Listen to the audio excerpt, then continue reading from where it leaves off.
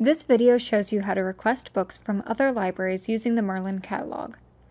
One of the features of the catalog is that if a book is checked out, you have the ability to search it at other campuses. To do that, go to the top of the page. In the box that says MU, use the drop down to select All Merlin. I'm going to be searching for the same title in all of the libraries. I'm going to choose the same book, and now I can see that it is available at another library. To request a book from another library, click the Request button at the top of the page. You will be brought to a sign-in page where you will enter your University of Missouri username and password.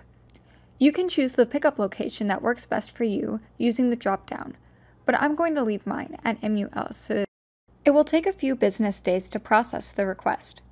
You will receive an email when your book is ready to be picked up at the campus library location you chose. Thanks for watching, and if you need any help, contact a librarian through any of these methods.